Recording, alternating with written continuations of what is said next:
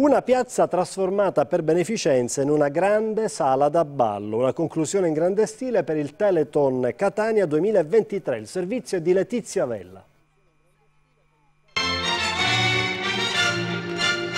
Piazza dinanzi il teatro Vincenzo Bellini trasformata in un salone delle feste a ritmo di valzer si improvvisano i primi passi guidati dal maestro e direttore della Compagnia Nazionale di Danze Storiche Nino Graziano Luca.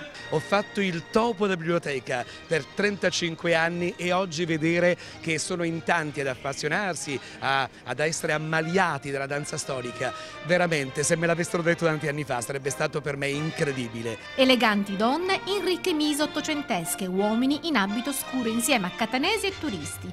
Tra loro anche 16 ragazzi del liceo coreutico Angelo Musco di Catania. Eh, indossare quest'abito mi fa sentire sia una ragazza dell'Ottocento sia una ragazza d'oggi. L'occasione è la raccolta fondi Teleton che quest'anno in città ha raggiunto quota 22.000 euro da devolvere alla ricerca.